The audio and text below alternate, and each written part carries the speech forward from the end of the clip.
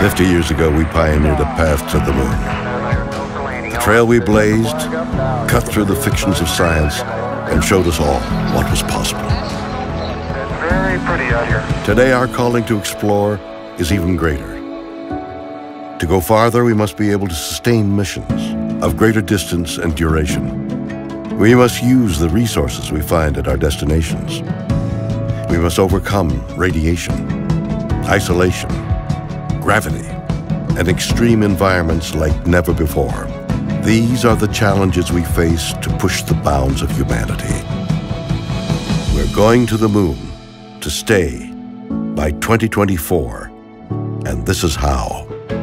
This all starts with the ability to get larger, heavier payloads off planet and beyond Earth's gravity. For this, we designed an entirely new rocket. The Space Launch System. SLS will be the most powerful rocket ever developed.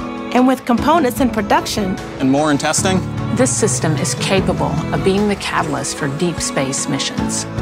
We need a capsule that can support humans from launch through deep space and return safely back to Earth.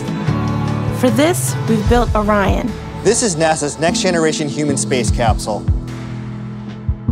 Using data from lunar orbiters that continue to reveal the moon's hazards and resources, we're currently developing an entirely new approach to landing and operating on the moon. Using our commercial partners to deliver science instruments and robotics to the surface, we are paving the way for human missions in 2024.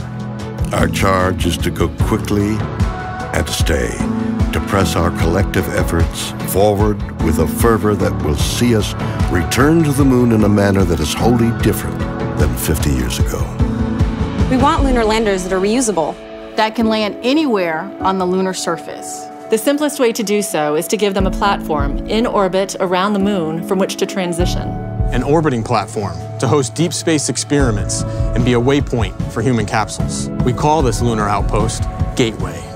The beauty of the Gateway is that it can be moved between orbits. It will balance between the Earth and Moon's gravity. In a position that is ideal for launching even deeper space missions. In 2009, we learned that the moon contains millions of tons of water ice. This ice can be extracted and purified for water. It can be separated in oxygen for breathing or hydrogen for rocket fuel. The moon is quite uniquely suited to prepare us and propel us to Mars and beyond. This is what we are building. This is what we're training for. This we can replicate throughout the solar system. This is the next chapter of human space exploration. Humans are the most fragile element of this entire endeavor, and yet we go for humanity. We go to the moon and on to Mars to seek knowledge and understanding and to share it with all.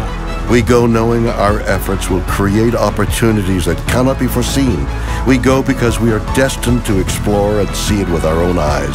We turn towards the moon now, not as a conclusion, but as preparation, as a checkpoint toward all that lies beyond. Our greatest adventures remain ahead of us. We are going. We're going. We are going. We are going. We're going.